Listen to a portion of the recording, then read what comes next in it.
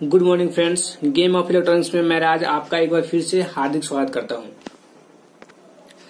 दोस्तों, मैं bearing replacement पे वीडियो डाल चुका हूँ, पर कुछ दोस्त बार बार बोलते हैं कि भाई बैरिंग कूलर से मैं नहीं निकाल पा रहा हूँ। बहुत दोस्त बैरिंग कूलर खरीदे भी हैं, उनको निकालने में दिक्कत हो रहा है तो मैं आज उसी विषय में फिर से बता रहा हूँ। आप गौर से देखिए एक दो मिनट का वीडियो होगा, आपको ज़रूर समझ आएगा।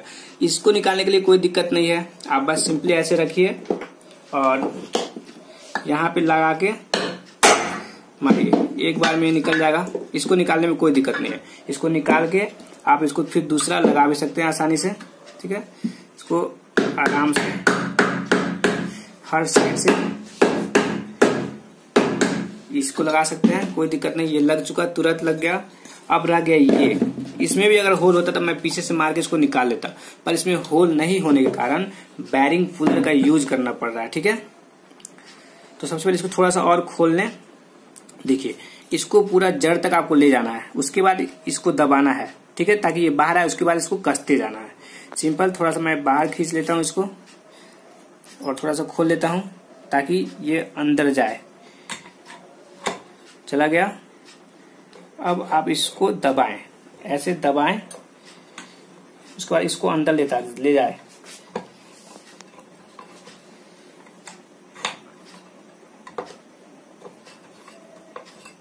ठीक है? थोड़ा सा अंदर जाने के बाद देखिए फंस रहा है कि नहीं। अंदर ये फंस रहा होगा, ऊपर नहीं आएगा धीरे धीरे अब बस इसको आप ऐसे करते जाए। ऊपर से दबाए रहें। आप देखेंगे कि बैरिंग बैरिंग पुलर में ही फंस के चलाएगा। जब नज़दीक जाएगा तो आपको थोड़ा सा ज़्यादा पावर लगाना पड़ेगा।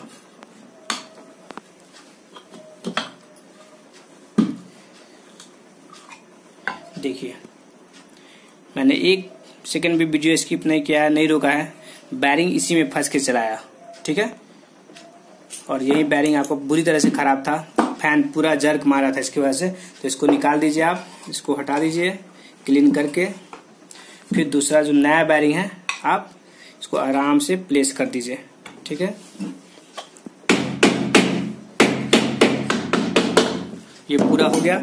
आशा करता हूँ कि वीडियो बहुत अच्छा लगा होगा। और आप ज़्यादा डिटेल में देखना चाहते हैं तो मैं बैरिंग रिप्लेसमेंट में ऑलरेडी वीडियो डाल चुका हूँ, जिसका लिंक मैं नीचे दे दूँगा। आप वहाँ से देख सकते हैं और आशा करता हूँ इतना ही आपके लिए बहुत काफ़ी होगा। तो मिलते हैं अगले वीडियो में। तब तक के लिए बाय कोई भी इलेक्ट्रॉनिक्स काम आप केयर से करें।